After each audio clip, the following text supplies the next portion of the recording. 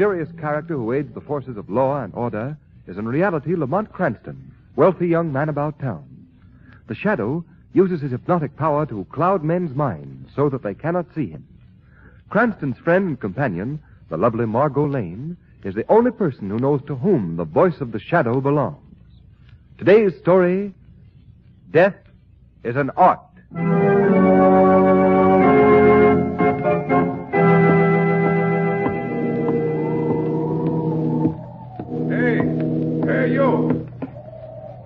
On there, my lad. I want to talk to you.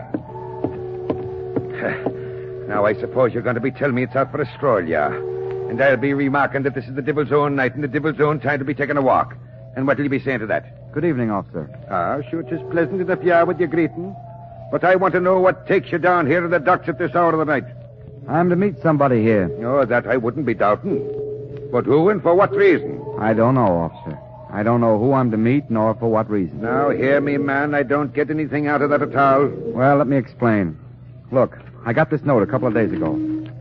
Read it. A man who prefers death to failure deserves success. That is a gift which is mine to bestow. If you wish further details, meet me in the vicinity of Pier 12, Wednesday around midnight. And he didn't sign his name. No. So you understand now what I mean when I say I don't know who I'm to meet. Oh, ho! a poor complexion this puts on things, so it does. Uh, now, what's your name? Harper, Graham Harper. Harper. Now, that's name. Oh, sure, I know you. You were in the, the papers a while back. Be the living. Say, you're the sculptor that tried to do away with yourself. Well, that's about the size of things. But I couldn't even make a success of suicide. You're not down here to pitch yourself overboard, are you? Uh, it's too cold a night for me to be diving in after you. No, no, officer. Once was enough. I don't think I'll have the courage to try it again. Besides, you see, this note offers me some hope. Well, all right. I'm a fool to do it, but I'll take your word for it. I hope this fella has a job to for you, too. If you have any trouble with him, just shout and I'll be somewhere about. Oh, thank you, officer. Oh, don't thank me. That's what I'm paid me good money for. Well, good night to you, me son lad. Uh, good night, officer.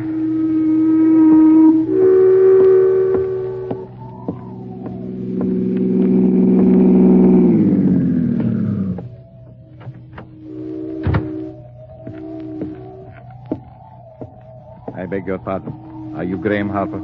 I am? Who are you? May I first confirm your identity? You have a note directing you to meet someone here. I have a note, yes. Is it from you? May I see that? Sure, here it is. Yes, so it is. Now we can talk without restraint. May I introduce myself? I am Professor Skurta Tasso. Professor Skurta, the famous scientist? Yes. Well, this is an honor, Professor. But what could you want with me? I've read all about you in the newspapers. Your attempted suicide. Oh, I want to assure you I am deeply sympathetic. Because you see, I too am a failure. what? You a failure? Oh, I have been blessed with a goodly share of success in science. But like yourself, I too have ambition to become a great sculptor. Had?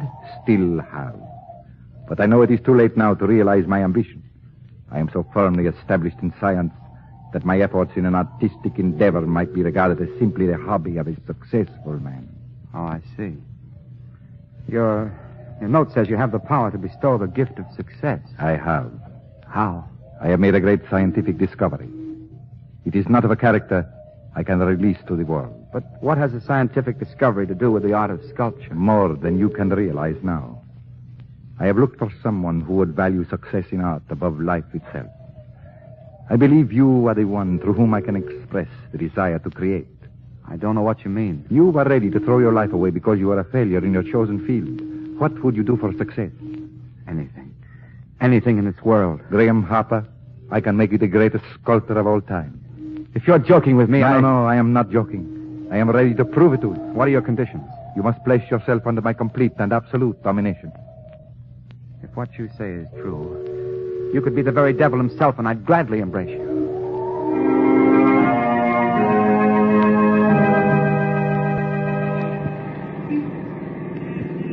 Say, Shrevey. Yeah, Mr. Cranston? Something the matter, something? Well, nothing except that Miss Lane and I'd be just as well pleased if you didn't try to make this old hack fly. Oh, I get it. I'm going too fast, I'm going. Is that it, isn't Yeah. Oh, no, Shrevey. It's just that all the others are going so slowly. Miss Lane, you're a genius. I never thought of it like that. Hey, Shrevey. Just because I criticize you for going so fast, that's no reason why you should stop on a dime. No, Mr. Cranston, that ain't why I stopped. I just seen a pal I see. Well, I hope you don't see any relatives. There he is, right over there. I want you should meet him. Oh, well, that's fine. We're always glad to meet a pal of yours, Shrevey, but do you think we're presentable? Ah, don't worry about that, Miss Lane. My pal's broad-minded. Hey, John! John! Hey, John! He's a little hard of hearing. He's a little. Yes, a little. and maybe he's just indifferent. No, he's a fire-eating Democrat. Hey, John! Let me help you, Shrevey. Hey, John! Gosh, Miss Lane, that did it. Here he comes. Margot, I'm going to enter you in a hog calling contest. Oh, fine, Lamont. Might open up an entirely new world for me. Hiya, John, old pal, old pal. Hiya. Oh, it's you, Shrevey. Well, well. I want you should meet a couple of friends of mine I want. Uh, this here's Miss Lane. And this here's Mr. Cranston. Well, any friend of Shrevey can be a friend of mine. You hear that, folks? That's how I stand with my pals, that's how. Well, but Shrevey, you you haven't told us the gentleman's name. How do you like that? Ooh, I'm such a dope. This here is Pencil John. Pencil John. Yeah, he's been selling pencils on this here corner for... How long is it, John, huh? Uh, 32 years. Yes, I, I've seen the city grow since I first came out here with my first pencil. Thirty-two years. My, that's that's a long time. And a lot of pencils, a lot. Yes, indeed it is. But I won't be here much longer. What do you mean? You're going to retire? You're going to... Oh, no, no. I am embarking on a new career. Yes. Well, what's the new career, John? Well, it's not exactly set yet, but the man promised me the job this morning. A job? Oh, Pencil, you ain't going to work after all these years. Yes, Shrevey, I am. What kind of a job you got? Well, I'm going to be a model. A model? You mean you're going to pose for them color ads? Oh, no, no, no. I'm going to model characters in stone. That's what the man said. And my statue is going to be exhibited in the famous Gaylord Gallery. Well, that's fine, John. The Gaylord Galleries are the best in the country. So I hear. Ain't that something? Hey, Mr. Cranston, you think a mug like me could get in to see John's statue, you think? Well, I think it can be arranged, Shrevey. Perhaps we'll all go. Oh, well, that would be fine, Mr. Cranston. I'd consider it a great honor. Why, not at all. And uh, now, Shrevey, I'm afraid we'll have to be moving along. Oh, okay, boss, okay. Well, this has been a pleasure, Miss Lane and Mr. Cranston. It's always nice to meet friends of Shrevey's. You hear that? Don't he talk nice, boss? Pencil John's got culture, he's got. Well, so long, John. See you in the art gallery. Goodbye, Shrevey. Hey, how do they pay off on that modeling racket? Oh, I'm getting five dollars an hour. Well, that's five dollars an hour. Bye, John. Goodbye, John. Good Goodbye. Thank you. Thank you. How do you like that? Five pieces of folded money every hour. Wow. Hey, Miss Lane. Miss Lane, look, get this. How's, how's my profile from this angle? Oh, it's fine, Shrevey, but I think I like the back of your head better. You do, Miss Lane? You do? Yes, then I know you've got your eyes on the road. Oh, I get it. Five bucks an hour.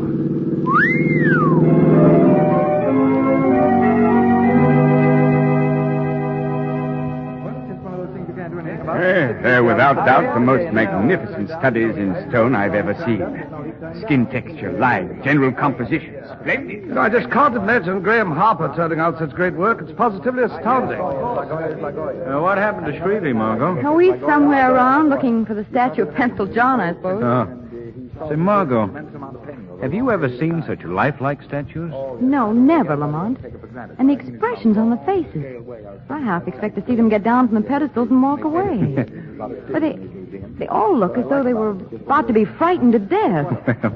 That's the modern touch, Margot. Hey, Mr. Cranston, Miss Lane, get a load of this. Oh, let him in. C- come on, Margot. Uh, our friend Shrevey's getting hysterical. Hey, look, here he is, boss. Here's John's statue. Don't he look swell, don't? Yes, yes, Shrevey, but but not so loud, please. Pencil John.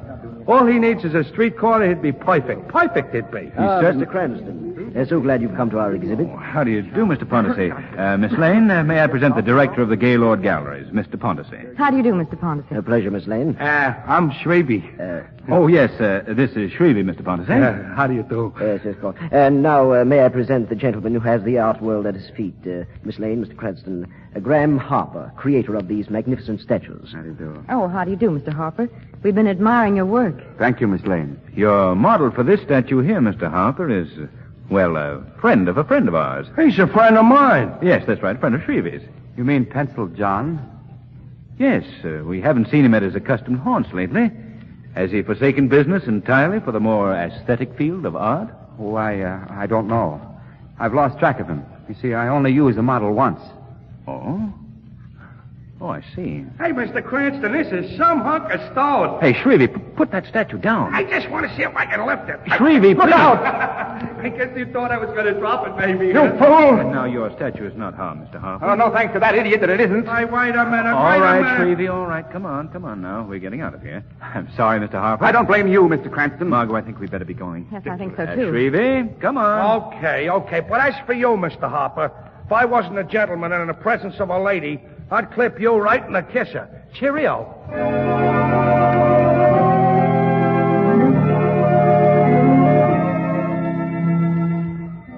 You know something, boss? That Harper guy oiked me. If you know what I mean. He oiked me. Yes, I, I think I know what you mean, Shrevey. Well, if we never see Mr. Harper again, it'll be soon enough for me. But I think we will be seeing Mr. Harper again, Margot. Why? Oh, for a closer inspection of his works of art, perhaps? Well, he is a great sculptor at that. So thorough. Lamont, did you notice the fingers on that statue Pencil John? Such detail. Every bone and muscle and sinew was there. Yes, Margot. And I have an idea that if the statue were broken open, you'd probably find the heart, lungs, and all the other organs, too. What do you mean? Well, you see, Margot, I have a strong suspicion that's not merely a statue of Pencil John. I believe that is Pencil John.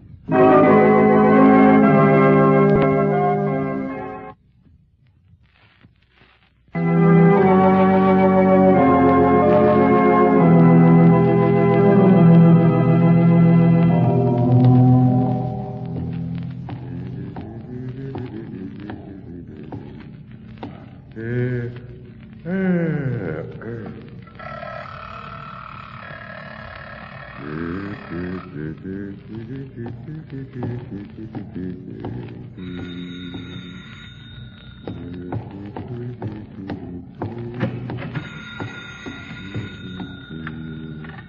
Hello? Gaylord Galleries. Yeah, this is Horton, the watchman. I've got the okay to release the statue as soon as you come for it. All right. Good night. Hmm? Huh? Just a moment, Horton. Who's that? I'm the shadow. Well, I. I don't see you where. I've clouded your mind so you can't see me. But don't be afraid. I'll not harm you or anything in your charge. Well, what do you want? For the present, just a little information. Who was that called on the phone? An expressman. There's a statue going out of the galleries tonight. Which one? Pencil John. I see. Well, I want to get a good look at that statue before it goes. You just stay here in this little office until the expressmen come for that statue. Oh, don't worry. I won't move. I want you to act as if nothing's happened. I understand. Very well. I'll leave you now. But don't forget, stay where you are. I'll do everything just like you told me.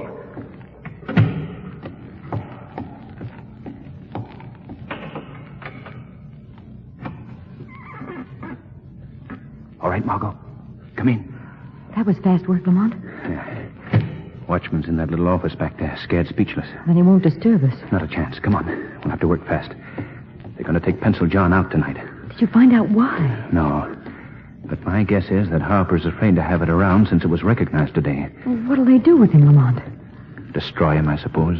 Oh, how horrible. Horrible's hardly the word. Whew. You cold, Margot? No, just nervous, I guess. An art gallery is certainly a spooky place at night. Yeah, here we are, Margot. The there's Pencil John. Yes. Be interesting to see if Harper even worked out the fingerprints, too, eh, Margot? That certainly would clinch your theory. Well, let's see if he. Ah, here you are, Margot. Look, the fingerprints are perfect. Have you got that since Pencil John's fingerprints? Yes, right here, Lamont. Good. Now we'll make a little comparison. Yeah. Take a look, Margot. The fingerprints match up perfectly. Perfectly. There's no question about it. This is Pencil John. And all these other statues, they're real people, too. Exactly. But how could they do this, Lamont? That I don't know yet, Margot. But I hope to soon. Lamont, do you notice one feature that's characteristic of all these statues? I noticed it when I first saw them. Yes. The look of horror on their faces. That what you mean? Yes. Ghastly. Hey, listen, Margot. Somebody's coming. Most likely the expressman to take Pencil John away. Come on. Let's hide behind these tapestries over here. Oh, I don't like this. I don't care whether you do or not. Did you notice the manner of that watchman? Yes, yes, he seemed frightened. Yes. You suppose anything's gone wrong? Don't be such a coward, Harper. You're always afraid something is going to go wrong. Well, look what happened to, to Pencil John. He was recognized today. It may start a search for the man. All right. We'll get him out of here and nobody will know the difference. Come on. Give me a hand here. And stop worrying. Margot, Yes. look who's dressed as an expressman. Who is it, Lamont? Professor Scurtatasso. What? Why, it is Lamont. What interest has he in Harper's affairs? Why the disguise? Those are questions I'm going to find out tonight.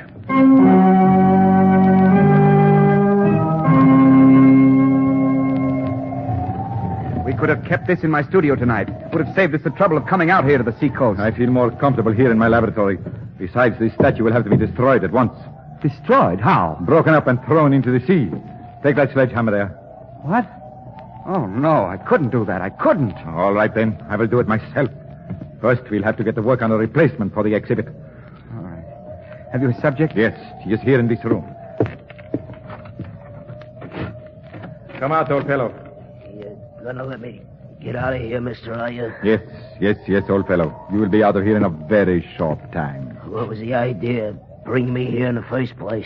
What do you think of him, Harper? Raise your head a bit. Uh, Excellent subject. well, can I go now? In a little while. Sit down here in this chair a minute. I want to get out of here. Sit down. Well, only a minute. Now. Oh! Shut up, shut up. Take these clamps from around me. Hand me the hypo. I'll quiet this old fool. Now, listen, mister. What do you want to hurt me for? I, I ain't never done I nothing. won't hurt you, not a bit. Roll up your sleeve, Harper. what are you going to do? Prepare you for a greater destiny than perhaps you deserve. No, no, no, go away from me. Go away. Come over here, Harper. No, no. Strange how even the most disreputable will cling to life. In just a few hours now, Harper, you will have a statue every bit as fine as Pencil John. Hand me my case. Yes, Professor. This is the most amazing process imaginable. No, it is a simple thing. Nature gave me the clue. Calcification of the human body is a device of nature. I just intensify the disease until the body attains the consistency of granite. Professor, Yes, what is the matter? I heard a noise outside. The wind, no doubt. No, no, somebody's out there. Well, let's put your mind at rest before you get hysterical. Come on. No. See anyone? No, there is nobody there. I thought you all right. There is somebody. Huh? Come on. Hey, hey there, you! Come back here! It's a man and a woman. They got into that car. They've got to head them off. Hey, hey, come back! There goes the car. Found it! Come on. He struck the pulse. Come on. Hurry, hurry, hurry. Oh. Oh. Oh, it's Miss Lane and Mr. Cranston. Lane, Cranston. Yes, those are the people who recognize that statue. What? Help me get Mr. Cranston out of here. He's hurt. He's unconscious. We will fix Mr. Cranston, all right. Grab a hopper. Yeah, come on, you. Let go. Get out of there. Can't you see I've got to get Mr. Cranston to a doctor? Don't worry, my dear. I will take good care of your friend. I've got just the right prescription for snoopers.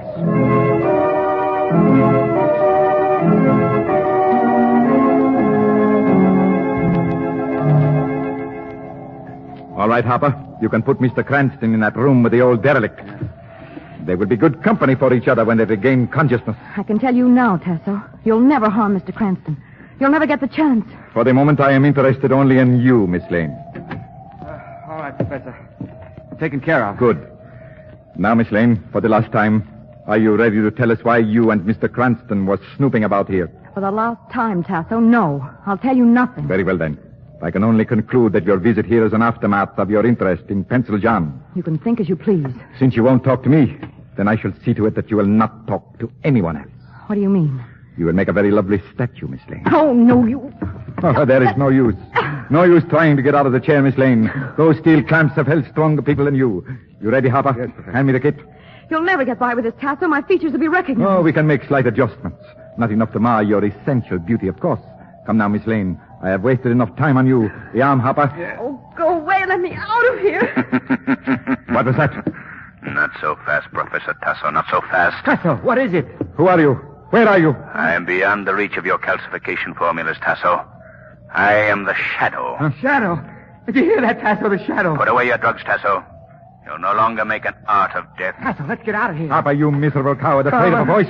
Here, hold the girl's arm. We'll finish our job. I'm the one that's finishing a job here now, Tasso. Let go of her arm. Don't listen to him, Harper. Proceed with the treatment. You're treatment. hurting me. Let go of her. Uh, Tasso, what happened to you? It hit me. It is not just a voice.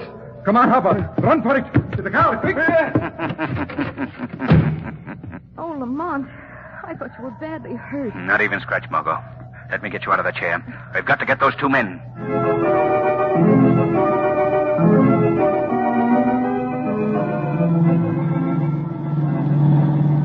Good driving, Margot. We're gaining on them. Tasso and Harper are certainly giving their car all it can take. Yeah. Look, Margot. The railroad crossing. Oh, Lamont, they're going to try and beat that train. They're insane. Oh, no, no. Lamont! Oh, Lamont. Look. Turn around, Margot. Oh, Let's go back. Professor Tasso and Graham Harper will never bother anyone again.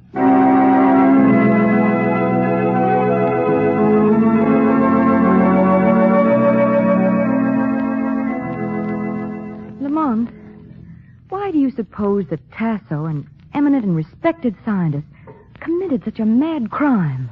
Well, his love of sculpture and his overpowering desire to show off his new process to the world could explain it. Plus a distorted mentality. Do you realize how close I came to being one of his prize collection? Yes. You'd have made a lovely statue, too, Margot.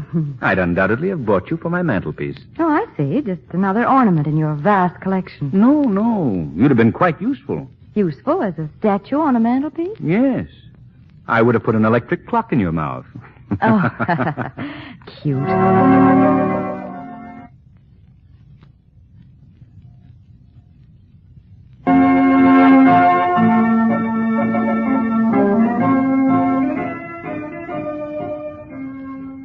Today's program is based on a story copyrighted by the Shadow magazine.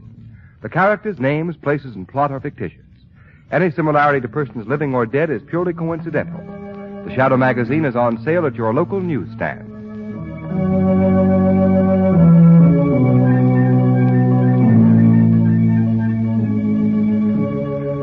The weed of crime bears bitter fruit.